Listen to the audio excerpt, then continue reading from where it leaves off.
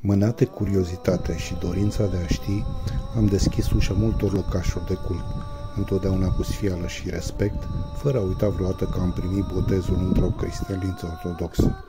Așa că nu puteam să ratez intrarea și într-o moschee, după mai multe încercări eșuate din lipsa unei relații cu Allah.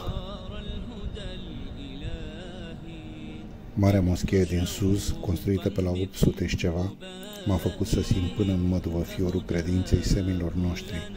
Odată cu chemarea muezinului, despălțarea și spălatul picioarelor, urmată de îngenunchierea pe covor pentru rugăciune.